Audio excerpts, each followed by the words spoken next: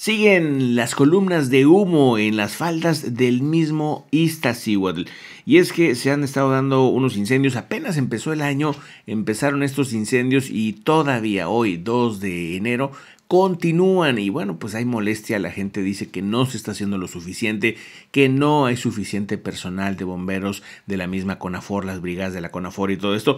El punto es que las columnas de humo siguen ahí ya se había dicho desde el mismo 1 de enero que estaba controlado, pero ahí sigue el incendio, todavía no lo han logrado controlar.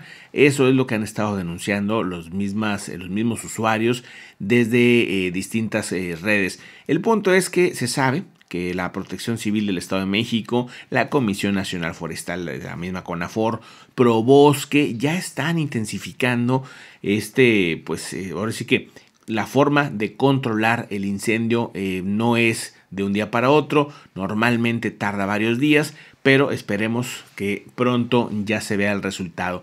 Tenemos condiciones de clima muy seco en buena parte de México, con muchos vientos, y vamos a seguir viendo seguramente este tipo de incendios. Lamentablemente esto aparentemente sería provocado. Para recibir la información todos los días de lo más importante que va pasando en México, en el mundo, lo más trending, por favor suscríbete, dale click a la campanita para que sí te lleguen los reportes y ponle ver todos los videos. Ahí estamos todos los días informando lo último de lo que pasa en el planeta. Un abrazo, que estén muy bien y ojalá que pronto les tengamos ya la noticia de que ha sido controlado este incendio. Atentos aquí también en este municipio donde estamos transmitiendo, se dio un incendio apenas iniciando el año, ya fue controlado también en la sierra de Nuevo León.